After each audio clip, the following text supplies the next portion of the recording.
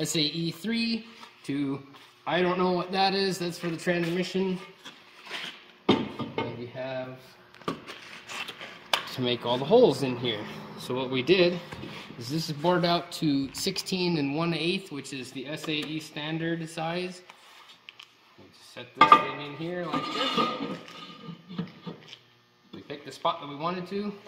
I took um, tape measure to find center. I had some blocks and straight edge and stuff here to make a stand of sorts so I could have a more precise layout method. But all of that secured, this thing tapped down into here. It was a nice snug fit. And we used transfer punches. Just put them in here, give them a good whack. And then it leaves you with centered holes.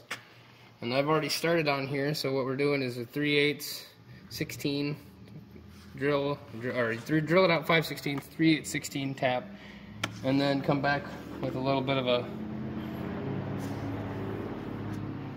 as they're called. I don't remember, but um, to deburr it a little bit and make it so mm. the bolts fit in there nice and easy.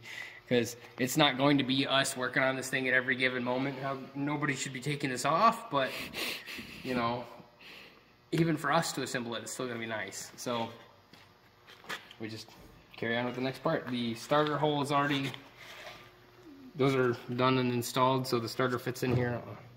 Um, be our hole here. It's one of them. Hmm.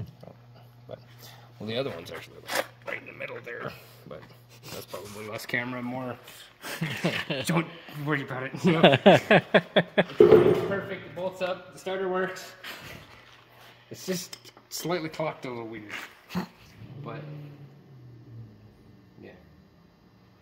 Sweet. I think that's good.